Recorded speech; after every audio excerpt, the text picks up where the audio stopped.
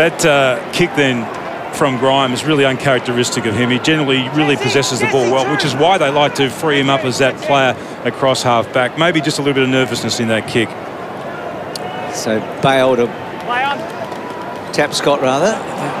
First game, eh? Straight down the middle. That's a long kick and a good touch for him early to get around.